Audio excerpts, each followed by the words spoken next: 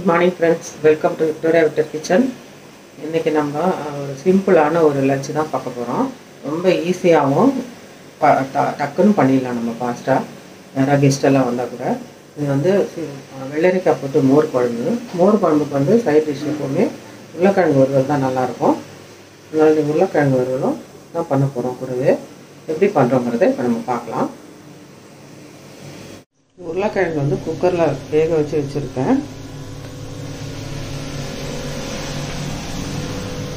இது வந்து நான் தயிர் எடுத்து வச்சுருக்கேன். நம்ம மோர் வெள்ளரிக்காய் கட் பண்ணி வச்சுருக்கேன். கொஞ்சமாக தேங்காய் ஒரு பச்சை மிளகா ஒரு சின்ன துண்டு இஞ்சி எடுத்து வச்சுருக்கேன். உருளைக்கிழங்கு ஃப்ரை பண்ணுறதுக்காக வெங்காயம் கட் பண்ணி வச்சுருக்கேன். கருவேப்பிலை எடுத்து வச்சுருக்கேன். இது வந்து நம்ம ஒரு ரெண்டு பேர் சாப்பிட்ற அளவுக்கு கொஞ்சமாக தான் பண்ண போகிறோம் இன்றைக்கி மோர் குழம்பு. இப்போ மோர் குழம்பு பண்ணுறதுக்கு நம்ம ஃபஸ்ட்டு வந்து இந்த வெள்ளரிக்காயை ஒரு பாத்திரத்தில் போட்டு வெறும் மிளகாத்தூள் போட்டு நம்ம வேக வச்சுக்கலாம்.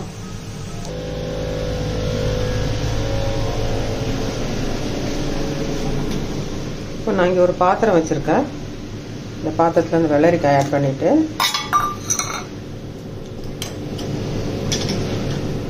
கொஞ்சமாக மிளகாத்தூள் சேர்த்துக்கலாம். ஒரு அரை ஸ்பூன் போதும் சின்ன ஸ்பூனில். கொஞ்சம் மஞ்சள் பொடி. ரெண்டையும் சேர்த்துட்டு கொஞ்சமாக இதில் தண்ணி சேர்த்துடலாம்.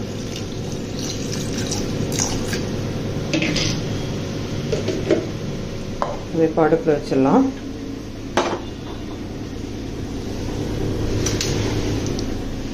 ஸ்டவ் ஆன் பண்ணுறேன்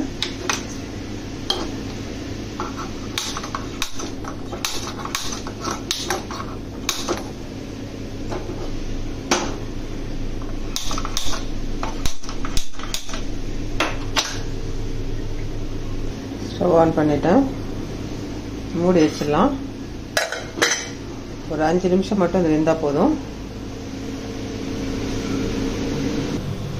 இப்போ நான் வந்து தயிரை வந்து மோராக்கி மிக்ஸி ஜாரில் சேர்த்து அடிச்சிட்டு மோராக்கி வச்சுருக்கேன் தயிரை. இது வந்து இந்த அளவுக்கு தான் இருக்கணும். ரொம்ப தண்ணி ஆகிடக்கூடாது கொஞ்சம் நல்லா கட்டியாக இருந்தால் தான் குழம்பு நல்லா டேஸ்ட்டாக இருக்கும். அடுத்ததாக ஒரு மிக்ஸி ஜாரில் இந்த தேங்காவை ஃபஸ்ட்டு நல்லா அரைச்சிடலாம். அரைச்சதுக்கு அப்புறமா இஞ்சியும் பச்சை மிளகாவும் சேர்த்து நல்லா ஒரு வாட்டி அரைச்சிட்டு வந்துடலாம். இப்போ தேங்காய் வந்து அரைச்சிட்டு வந்துட்டேன். இந்த மோரில் நம்ம அரைச்சிருக்க இந்த தேங்காய் இதில் கலந்துடலாம். கூடவே இந்த பச்சை மிளகாவும் இஞ்சியும் நான் மிக்சியில் அடிச்சுட்டு வந்திருக்கேன் இல்லைங்களா? நசுக்கிட்டு அதையும் இதில் சேர்த்துடலாம். இப்போ அடுத்ததாக ஒரு கால் ஸ்பூன் சீரகத்தூள்.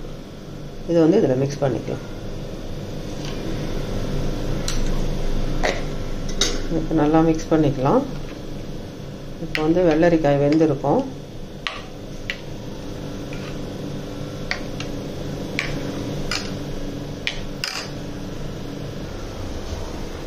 இப்போ வெள்ளரிக்காய் வெந்துருச்சு. இப்போ நம்ம இந்த அரைச்சி வச்சுருக்கோம் இல்லைங்களா தேங்காய். எல்லாம் கலந்து வச்சுருக்கோம் மோரில். இதை எடுத்து இந்த குழம்புல கலந்துடலாம்.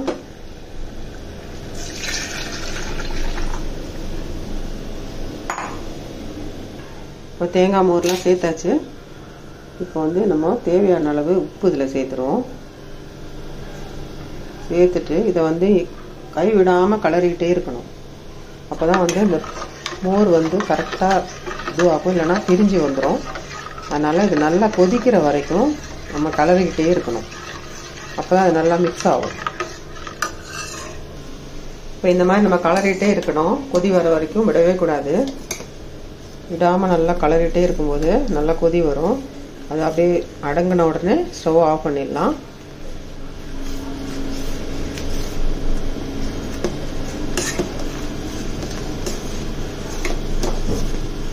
அவ்வளோதான் போதும். இப்போ நம்ம ஸ்டவ் ஆஃப் பண்ணிவிட்டு ஒரு அஞ்சு நிமிஷம் அப்படியே கலரிட்டே இருக்கணும். ஏன்னா அந்த சூடு வந்து கொஞ்சம் ஆறணும். அது வரைக்கும் நம்ம கலரி விட்டுட்டே இருக்கணும். இல்லைன்னா தயிர் த மோர் வந்து தனியாக பிரிஞ்சு வந்துடும் நல்லா இருக்காது. அதுக்காக தான் இந்த மாதிரி பண்ணுறது இப்போ மோர் குழம்பு இறக்கியாச்சு. இது நல்லா ஆறிடுச்சு. நல்லா கலந்து விட்டேன் நான். இப்போ அடுத்ததாக நான் மோர் குழம்பு தாளிக்கிறதுக்காக ஒரு வானல் அடுப்பில் வச்சுருக்கேன். ஒரு ஒன்றரை ஸ்பூன் ஆயில் சேர்த்துருக்கேன். கொஞ்சம் வெந்தயம் சேர்த்துக்கலாம். கொஞ்சம் கடுகு.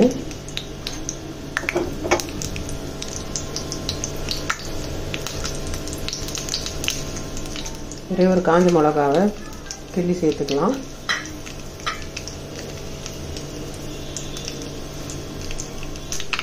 கொஞ்சம் கருவேப்பிலையும் சேர்த்துக்கலாம்.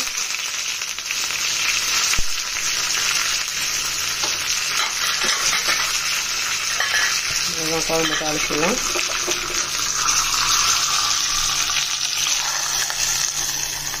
அவ்வளோதான் மோர் குழம்புக்கு ரெடி ஆயிடுச்சு. அடுத்ததான் நம்ம உருளைக்கிழங்கு ஃப்ரை பண்ணலாம். உருளைக்கிழங்கு வேக வச்சு இந்த மாதிரி கட் பண்ணி வச்சுருக்கேன்.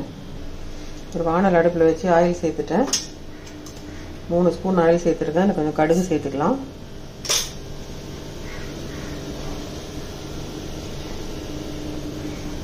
கூடவே இந்த உளுத்தம் பருப்பு சேர்த்துடுறேன். கடுகு வெடித்து உளுந்து செவந்துருச்சு. இதுக்கப்புறம் நம்ம அந்த வெங்காயம் கட் பண்ணி வச்சுருக்கோம் இதில் சேர்த்துடலாம். இந்த ஒரு ரெண்டு நிமிஷம் நல்லா வதக்கிடலாம்.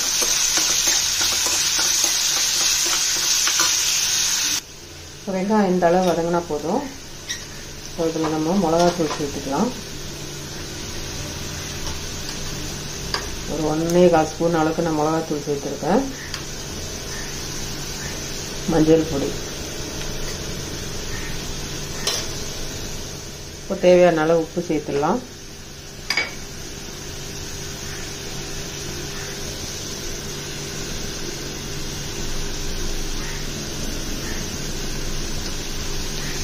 இப்போ இதை நல்லா கலந்து விட்டுடலாம்.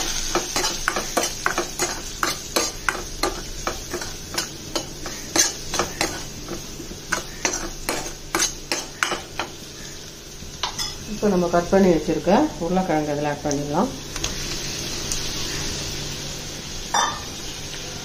இதே நல்லா கலந்துடலாம். இது ஒரு பத் ஒரு அஞ்சு நிமிஷத்துக்கு நம்ம அப்படியே நல்லா மூடி வச்சிடலாம். ஏன்னா இதில் தண்ணிலாம் சேர்க்காம அப்படியே இந்த எண்ணெயிலேயே நல்லா ரோஸ்ட் ஆகி வரும்போது நல்லாயிருக்கும் டேஸ்ட்டு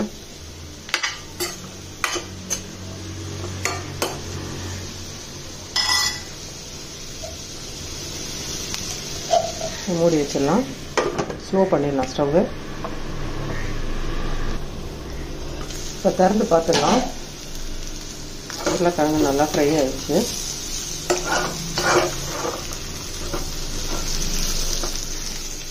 எண்ணெயிலே நல்லா ஃப்ரை ஆயிடுச்சு. இப்போ இதில் வந்து கருவேப்பிலை சேர்த்துடலாம்.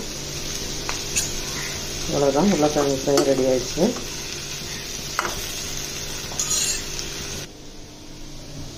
மோர் குழம்பும் உருளைக்கிழங்கு ஃப்ரையும் ரெடி ஆயிடுச்சு.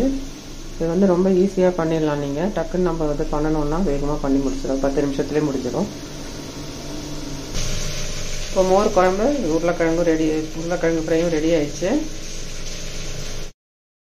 இந்த வீடியோ உங்களுக்கு பிடிச்சிருந்தேன்னா லைக் பண்ணுங்கள் ஷேர் பண்ணுங்கள் கமெண்ட் பண்ணுங்கள் மறக்காமல் விக்டோரியா கிச்சனுக்கு சப்ஸ்கிரைப் பண்ணுங்கள் தேங்க்யூ